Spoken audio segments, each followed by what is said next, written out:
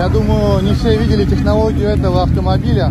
Он построен в Иркутске. У него вот здесь вот, вот такой вот динамический догруз на сервоприводе, который на разгоне находится в задней части автомобиля.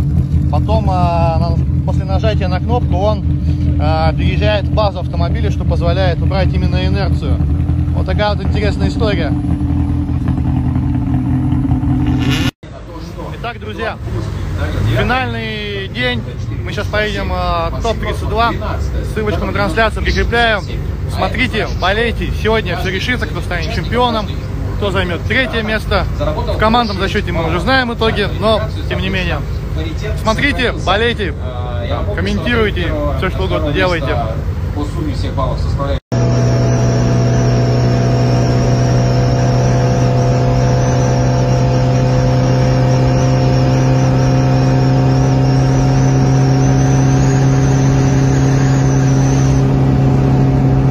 Мокрый снег падал, а я шел домой.